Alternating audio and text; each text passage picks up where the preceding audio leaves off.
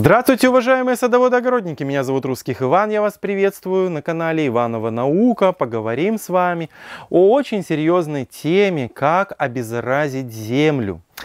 Конечно, почва после культуры томата, баклажана, перца, огурца, многих других растений, а, в ней накапливаются всевозможные патогены. Но, конечно, дезинфицировать полностью почву, вот чтобы прям уничтожить там всю микрофлору, хорошую плохую, и потом заселить туда конкурентную, ну, там, сенную палочку, триходерму, псевдомонады, еще что-то, а, это, конечно, практически невозможно. Почва такой уже живой котел, да, невероятно живой котел, что а, можно сделать лишь поверхностную дезинфекцию. О поверхностной дезинфекции почвы мы с вами говорили.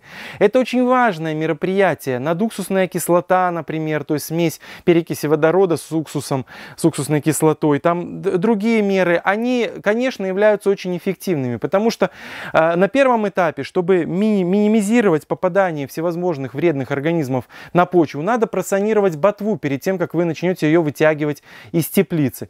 Э, но все-таки, несмотря на это, какое-то количество спор, там, кусочков растений с э, вот этими э, патогенами, они все равно здесь останутся. Поэтому вот эта поверхностная санация надуксусной кислотой, рецепт вы видите на экране, напоминаю вам его, э, она очень-очень хороша. Что мы делаем после надуксусной?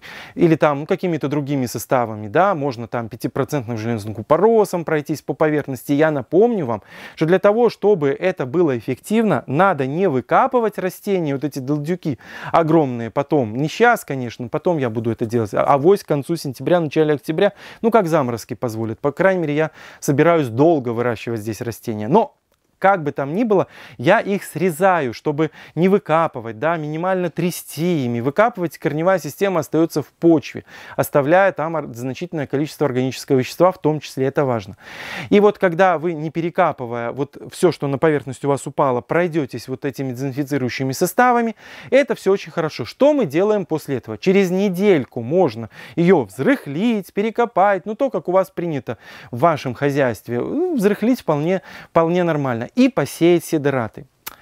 И вот здесь сидераты могут сыграть очень неблагоприятную роль. Особенно, если речь идет о таких сидератах, как горчица и другие крестоцветные. Я сейчас поясню почему. Дело в том, что крестоцветные сидераты являются невероятно мощными поглотителями азота. Начиная прорастать, горчица, там рапс, редька, все остальное начинают вытягивать из почвы весь азот. И здесь такая ловушка образуется. Какая?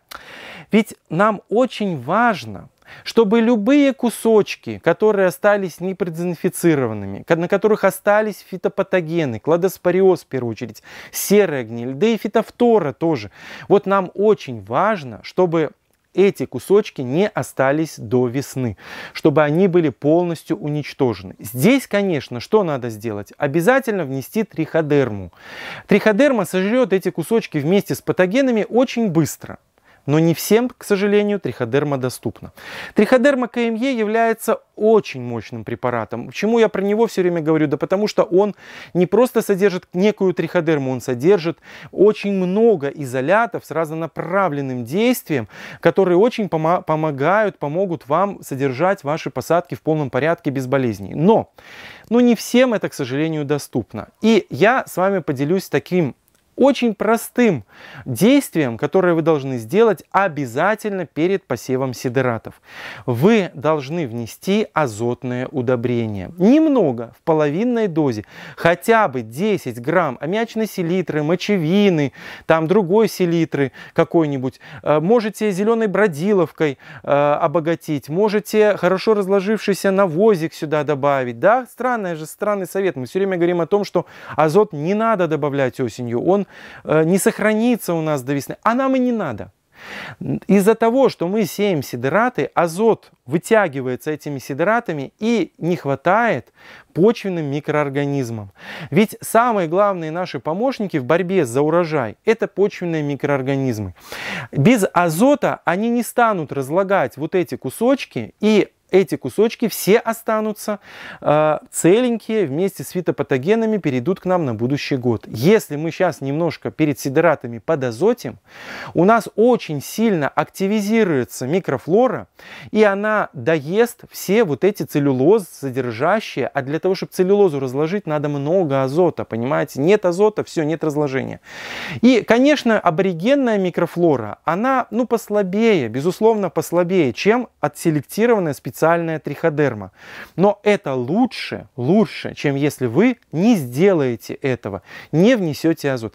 Надо ли вносить азот, если вы также вносите триходерму? Да, это очень хорошо в любом случае, потому что будь то триходерма или аборигенная микрофлора, может быть в вашей теплице тут и триходерма есть тоже, это ну, не редкость, просто она дикая, а в препарате она специально отселектирована.